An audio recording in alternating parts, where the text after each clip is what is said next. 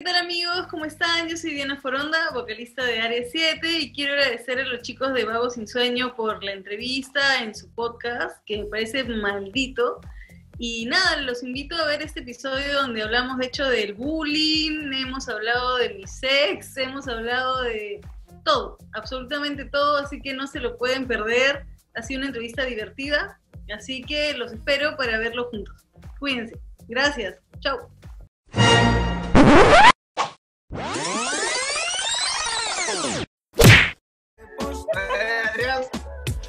Eso. Alonso, la vueltita. Buenos días, buenos días, buenas, buenas tardes, buenas noches a la hora que nos estén viendo. Bienvenidos al podcast Vago Sin Sueño. Hoy estamos, saludos a Adrián, saludos a Alonso, Alan. Hoy tenemos una gran invitada, a Diana Foronda. Hola chicos, ¿qué tal? ¿Cómo están? Hola a todos. Eh, invitación. Sé que su podcast está rayando, Ay, ay, ay. Está rayando, está metiéndose en la memoria de todos. Y respecto al reggaetón, ya que con el tiempo abierto, sí se me ha pegado ya. O sea, yo no discrimino, digamos, cuando estaba, como les decía, ¿no? Cuando estaba chivola así, metal, mega, de pantera y todo, chévere, lo sigo escuchando. Pero eh, yo me dedico también a lo que, bueno, ahora no sé, ¿no? A lo que son producciones internacionales, digamos de conciertos. Y he podido conocer a Daddy Yankee, he podido conocer a un montón de, de chicos reggaetoneros. Y, mm, o sea, me he dado cuenta que eh, en realidad eso es música solamente para bailar, ¿no? No es tanto para pensar. Entonces, esta canción en especial la encuentro bien Hawái. o sea, bien para la época, ¿no? Porque sí, sí pasa. O sea, ¿o no les ha pasado que tienen amigos, por ejemplo, o exes, o cosas así, que suben cosas y dices, oye, de hecho lo hace para, para molestarme, pues, ¿no? ¿O ustedes no lo han hecho? No, A mí, a mí me lo han hecho. Yo, yo vi una vez a una flaca que subía mucho fotos con vinos o con chela, siempre brindando, y la gente pensaba que la chica ya como que sufría el alcoholismo. Una cosa. No, pero por ejemplo, ah, o sea, por ejemplo, cuando estaba más chivola, y no se acuerdan si, se- del high five, de Fotolojo, qué sé yo. Claro, claro. Ya, o sea, Claro, Claro, high high five, five. wow. Aquellas épocas ancestrales. ya que, acá, ya que, no hablemos de edades, pero, este, claro, o sea, cuando mi ex me terminó en esa época, me acuerdo, yo estaba dolida, pues ya, y en el Fotolog subía fotos, tipo ensayando, con amigos, en sargento, tomando, todo, estaba en depresión, ¿no? O sea, desde mi cama, así mi compu subía mis fotos, porque ni siquiera había smartphones, eso no existía, ¿me entiendes? Solamente el Fotolog, High Five, MySpace y el Messenger. ¿no? Este, y sí me identifiqué con esa letra. Pero saludos a Maluma y no, y Mazarroche de Neymar, Neymar y todo eso me pareció súper, súper divertido, ¿no? Cómo, cómo entró, digamos, la canción al mercado fue un vacilón. Pe- y pegó, fue viral. Claro, decía, varias personas ya lo han, hecho, lo han usado como estrategia de marketing ahí para ser virales. claro. No, y un vacilón también los memes y todo eso, y, y bacán, ¿no? O sea, eh, no sé, o sea, como les digo, hace, un- hace poco tiempo hablaba con un amigo que es guitarrista de Uchpa, que es Marco Maicel, profe, mando saludos, eh, y él me decía, hay música para pensar y música para los pies, ¿no? O sea, Claro. Hay música para bailar, tonear y qué sé yo, o sea, yo antes era de las personas que estaba en una reunión, te decían, vamos a bailar, ¿no? Y yo, no, no, o sea, ¿Qué va a así hacer? noche de chivola, ¿me entiendes? De baila con tu primo, baila con tu primo. No. Pero en una de esas me animé y ya todo se fue al diablo, pues. Ahora, este, Bad Bunny Instagram. Di- Diana, desde chica, de- desde muy niña ya escuchabas rock. Siempre. Eh, yo empecé a escuchar rock en el, cuando tenía 14 años o 15 años más o menos. ¿Por qué? Porque, o sea, había muchos problemas en casa ya. O sea, mi mamá y mi papá es- estaban en conflicto y todo eso. Entonces, para que mi hermana y yo de alguna manera no, digamos, no suframos mucho esa... Ya nos ponemos serios, ¿ya? Dale, dale. Esa, esa violencia, ¿no? Esa, ese estrés. Mi mamá nos matriculó en unas clases de guitarra. ya en ese tiempo, digamos que, o sea, siempre hemos sido clase media, no hablando ya un poco, o sea, con honestidad. Entonces mi profe Carlos Arce en esa época nos cobraba, me acuerdo, por clase, por hora 15 soles, ¿no? Lo que ahora por hora Carlos. pueden cobrarte 50 soles, ¿no? Carlos Arce me suena. Mi profe Arce, no, mi profe ya falleció, falleció a los 25 años de un paro Ah, cardíaco. ¿ya? Wow. Pero digamos que mi mamá lo, digamos que lo contrató para que nos enseñara guitarra criolla. Pero mi profe no se dio cuenta que mi profe te venía con un polo de Maiden, ¿no? Ah, con su guitarra eléctrica. Entonces Ah. mi mamá nunca se percató de eso, ¿no? Y mi profe nos enseñaba Metallica, Guns, Nirvana. Bueno, empezamos con Maná, me acuerdo, ¿no? Y yo le dije, profe, a mí me gustan los Backstreet Boys. Me dijo, eso no es música. Me hizo llorar mi profe. así, de pura cepa, de raza. me mató en una, ¿no? Y tenía, yo tenía mi póster de Nick, ¿no? De Nick Carter, de los Backstreet Boys. Me hizo cambiar todo eso ya y comencé a escuchar Nirvana. Como todos, creo, ¿no? En un momento de nuestra vida. Pero qué buen inicio, qué buen inicio para escuchar música. sí, nos- Nirvana nos cambia la perspectiva de todo. es- o sea, puede ser música, digamos, que muchos digan, eso no es música, es bulla, pero co- comienzas a investigar un poco cómo este tipo, ¿no? Que se, que se llama Kurt Cobain y que todos lo conocemos, o sea, con una chompita y una teleca y una, perdón, un Squire y haciendo bulla se trae bajo Guns N' Roses, ¿no? Claro. Entonces, cuando empecé a tocar Nirvana, mi profe me decía, eso no es música. Ah, más, cerrado todavía, ya. También me dijo, tienes que tocar Metallica, tienes que tocar Guns, tienes que tocar. Entonces empecé a tocar Metallica como tarea, ¿no? Porque nos dejaba, sáquense esa canción con mi hermana para el otro fin de semana, sáquense esa canción para otro fin de semana. Y en una de esas nos juntamos, digamos, este, varias chicas, varias alumnas de él y formó la banda, pues, ¿no? Y nada, así empezó todo. Así empecé a escuchar y de ahí ya no, no pude desprenderme de Nirvana, de Pearl. Jam, de, de- un montón de bandas de, de los noventas, ¿no? Sí, yo, yo, a mí me inyectaron los noventas así en One. Así, Wow, a la vena. Sí, y una i- era, para mí era mejor que la otra y después de la otra. Por ejemplo, empecé con Nirvana y después no sé si les pasa que hay una escalerita, ¿no? Pearl Sí. Jam, Alice in Chains, ¿no? A Soundgarden la verdad nunca me pegué mucho, pero ya después, o sea, antes es como que Matt Honey, este, Velvet Underground, qué sé yo. Y la banda que hizo Eddie Vedder también, ¿no? Temple of the Dog creo que era. Claro. La banda que hizo Eddie Vedder tam- también estaba como por ese, por ese, por ese como sector, ¿no? También Temple of the Dog creo que es, Ah, Temple claro, of the- Temple of La hizo con Chris. Cornell. con Chris Claro. Cornell. Y de hecho, eh, Pearl Jam era como considerada en ese momento ¿no? como que la banda sanita, ¿no? Los sanitos de, del grunge, ¿no? Eh, igual que... Igual se metía sus cosas, ¿no? Pero, pero, este, nada, o sea, yo soy fan de Pearl Jam a morir, pero también de Nirvana y nunca sé quién va primero, ¿no? O sea, en mi lista. Siempre me preguntan y es como que... Creo que es por discos, ¿ah? Creo que to- los dos están así, pero por discos uno, uno y le gana al otro.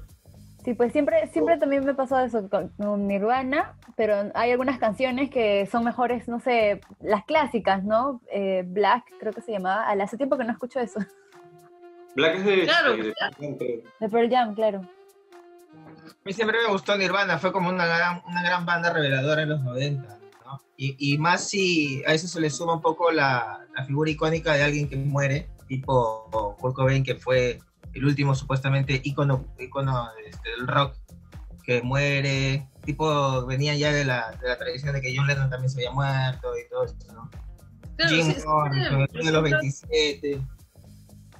no se preguntan, o sea, a lo mejor si es que Kurt Cobain no, no hubiese muerto en esa época, de repente no sería tan rockstar como, como es ahorita, ¿no? Cierto. Yo siempre me pregunto eso, ¿no? O sea, ¿cómo, cómo estará Kurt Claro. Cobain ahorita? ¿Cómo estaría? O sea, no sé, de repente Ahí empieza el mito, ¿no? Muere el artista y empieza el mito. Yo una vez me leí un libro, estaba tan afanada de verdad con Nirvana, que ni me bañaba. Es una clásica. Quería- es una clásica. dar tipo como Kurt Cobain así al, al- igualita. Lifestyle. El Kurt Cobain era su influencer. Claro, claro. Este, pero me leí un libro entero que me prestaron de la historia de Nirvana y eh, había una parte, ¿no? Donde decía justamente cómo había sido, cómo había fallecido él y de dónde había estado antes, ¿no? Creo que había estado en rehabilitación, ponte, en Guacho y Courtney Love había estado en rehabilitación en Ica, ¿no? Una cosa así. Ah. Entonces, Love se escapó de Ica y fue a Guacho y los dos se encontraron, y, pero cuando antes de encontrar a Kurt Cobain, Kurt Cobain se escapó de Guacho, se fue a su casa y ahí se mató, ¿no? Y creo que el electricista o el jardinero lo encontraron. Y- Oye, y Sí, esta, y- esta vida de tener así, o sea, una fama de joven antes de los 27 años, eh, a veces, no sé, siento que por el tema del grunge, el metal, el rock, la gente lo relaciona mucho con, con el tema también de deprimirse, de las drogas, el alcohol, la vida rápida, el dinero, y, y es chévere, en realidad es chévere. Eh, a ti también te llegó el tema de, de Área 7 joven, este, Diana. O sea, Claro, el hecho de estar ya en conciertos, o sea, para, para, para aquella época en la que sale Área 7 por primera vez, este, en Lima me imagino que ya estaba muy de moda lo que era el- en ese tiempo lo que llamaban el chiquipán, y habían esos conciertos de aquella época, ¿no? Entonces Área 7 aparecía como una banda femenina, tocaban fuerte, grueso, y las otras bandas eran mucho más punk, con una temática distinta y eran hombres. Eh, o sea, en ese momento ya, ya, ya de por sí Área 7 resaltaba, ¿no? Ya de por sí, por solo hecho ya de ser mujeres en ese sector. Eh, y te hiciste muy conocida muy rápido, Diana. O sea, ¿qué edad tenías en ese tiempo? Yo me vacilo porque fue una época bien divertida, ¿ya? Yo tenía, eh, acababa de, o sea, estaba en quinto de, media, estaba, tenía creo que 17 años, porque cuando Magali nos bulea, nos trolea en una nota, de verdad Magali, lo que pasa es que, a ver, nosotros tocábamos en un circuito de Barranco, ya, no sé si se acuerdan el Frentino, ¿no? Esos bares que, bueno, de repente ustedes que son, que, que los más chivolos no se acuerdan mucho, pero tú sí, este, de todas maneras, este, Total. y yo eso Estamos por también, ahí, ¿no? estamos por ahí. por ahí. Este, habían papsitos, como el Frentino, el Más Allá, ¿no? El Venecia, en Barranco, donde podías hacer matinés de rock, ¿no? Entonces eh, se armó un grupito de bandas de, de Barranco y estábamos nosotras tocando y nuestros covers, un par de canciones propias. Entonces una amiga dijo un día, oye, hay un programa que se llama TV Rock, ¿no? En Canal 7. Y nuestros ya. amigos que serían el asesino van a ir a tocar ahí, entonces vamos a hacerles barra, ¿no? Así, literal, ¿ah? Barra. Vamos a hacerles Ah. barra, pues, porque hay una vaina que, o sea, es con público, se llama la familia Manson y vamos este, a hacer la familia Manson, ¿no? Ya vamos, pues. Entonces nos tiramos la pera. y fuimos, pues, y mi amiga llevó un ensayo de nosotras en cassette. Ah, Ya. Ya. Entonces terminaron de grabar, estaba ahí Cucho Peñalosa, y mi amiga que era mandadaza, dijo, Cucho, Cucho, Cucho, este, mira, nosotros somos Ares 7, y la verdad es que ese es nuestro cassette. Y Cucho dijo, ¿qué? ¿Y ¿Son bandas de chicas? ¿Es una banda de chicas? Yo le digo, y bueno, amigo, sí, somos cuatro chicas que bla, bla, bla, bla, bla, bla. Súper confianza, mi amiga, así, súper mandada, así, yo estaba bueno, Sí, es, súper. Este, y Cucho vio el CD, el cassette que decía ese ensayo, bla, bla, bla, porque antes le ponías tu nombre, ¿no? Y dijo, ya, pues vengas el próximo jueves. Anda, qué rápido. Yo no asimilaba que había que llevar equipo, bueno, mi amiga se encargó de eso.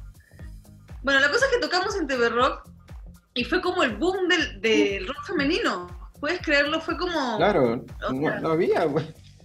no había, era, éramos como el experimento de ese momento, ¿no? O sea, los, los, re- los programas de reportajes era como que, ¿no? O sea, éramos como la Shay Shay de ese momento. Pero- claro, había algo peculiar porque era, éramos como que las chicas darks, las niñas darks, nos llevaban a Galerías Brasil a hacer reportajes, a, este, a la cruz de, ¿cómo se llama? De Cerro San San Cristóbal. Nos hacían, o sea, todo un perfil de, de chibolas este, medias, ¿cómo te puedo decir? Súper juergueras y rockeras y metaleras. Y estábamos, o sea, estudiando, ¿no? Por eso hay una parte en el- la entrevista de Magali donde dice, pero estas chicas no se dejen llevar, porque estas chicas están estudiando. Por si acaso. Sí, por si acaso, no se dejen llevar, pues esas chicas están estudiando.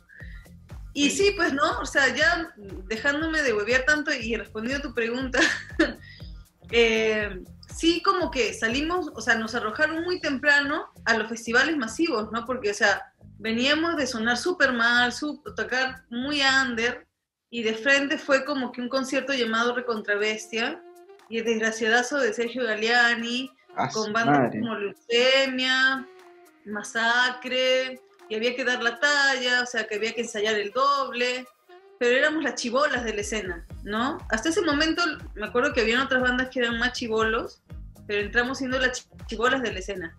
Y te juro que no dejamos de ser las chibolas de la escena hasta unos tres años atrás, ¿ah? Con 30 años encima. Ahorita recién hemos dejado de ser las chibolas de la escena. Claro, porque hay más bandas chiquitas de, de mujeres también, ¿no? Que se Claro, y aparte uno empieza a hacer respetar, ¿no? Qué chivolo y, ¿no? O sea, es que da cólera ya en un momento, ¿no? Te, te Sí, subestiman. Te subestiman por ser mujer y por la edad. Y de, y de esa idea también parte eh, tu proyecto de Girls of Rock.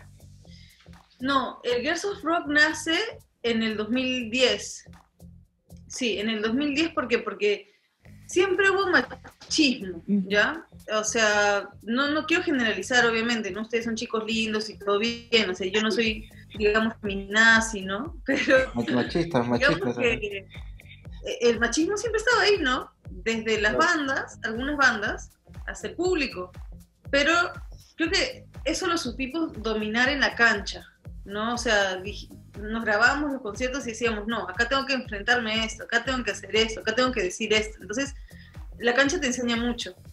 Entonces, ahorita mismo, por ejemplo, si tocamos para un festival de chicos, no digo festival de chicos, no, eh, si tocamos para un Festival. festival masivo, estamos como pez en el agua, ¿no? Cuando en verdad alguna, de repente alguna banda de chicas le da un poquito de miedo, qué sé yo. Es muy diferente tocar, por ejemplo, en una noche de barranco que tocar en un guaralino. No, en un guaralino hay mucha adrenalina, o sea, hay mucha gente pobeando. Mm, e- e- es muy, ¿cómo les puedo decir? Es muy fuerte. Ah, y, por ejemplo, en un bar, en la noche de Barranco nos prohibieron tocar. Hola, Charo, ¿qué tal? es la dueña. No, en verdad es comprensible, ¿no? Nos prohibieron tocar porque la gente que iba a apoyar rompía vasos y cosas así. Entonces es distinto, ¿no? Pero nosotras fuimos entrenadas para tocar para festival. Es como entrenadas, ¿no? Alguien se mate la risa. Pero sí, o sea, y el, el Girls of Rock nace justamente porque dijimos, ¿sabes qué? O sea, o sea, sí, tocamos en festivales, estaba Rock en el Parque, estaba el Unión Fest, habían bastantes festivales, pero no hay un festival donde yo comparta con mis amigas, donde me pongan un buen horario, donde me pongan el mismo catering que le ponen a todos, donde nadie me robe mis chelas, donde nadie me robe mi agua, donde nadie me robe el horario, ¿me entiendes?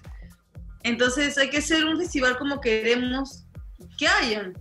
Y lo hicimos, ¿no? Entonces, este, como siempre lo comparo, ¿no? Por ejemplo, tú, ustedes, chicos, si van a una fiesta y no les gusta, y van a otra fiesta y no les gusta, hacen su propia fiesta. Nuestro Claro. propio podcast hemos hecho. es- Por ejemplo, una chela artesanal, ¿no? Toman chela, no les gusta, no les gusta, hacen su propia chela. Es lo mismo, es exactamente el mismo sistema. ¿no? Y así nace el Girls of Rock de la necesidad, ¿no?